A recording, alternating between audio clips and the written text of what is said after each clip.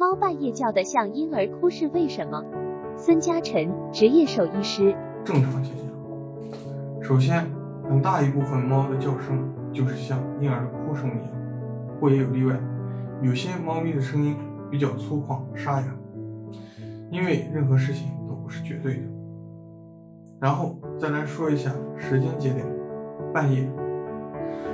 半夜时候一般属于比较安静的时候，所以这个时候外界环境一旦出一点动静，人的注意力很容易集中在上面。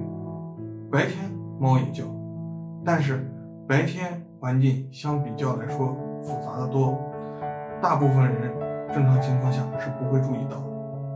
其次就是猫还有一个特性，就是夜行性，很多情况下。猫都是白天睡觉，晚上行动，所以说晚上精力更旺盛一些，也是正常表现。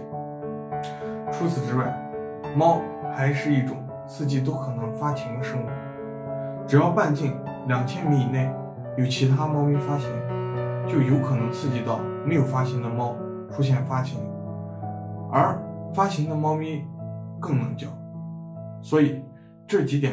结合起来看，用四个字来概括，就是正常现象。